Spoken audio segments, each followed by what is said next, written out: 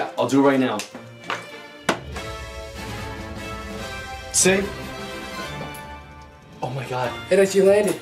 Dude, dude, you did it! I completed the water bottle challenge. Shit, I ain't really tripping over school, let's get Wiz Khalifa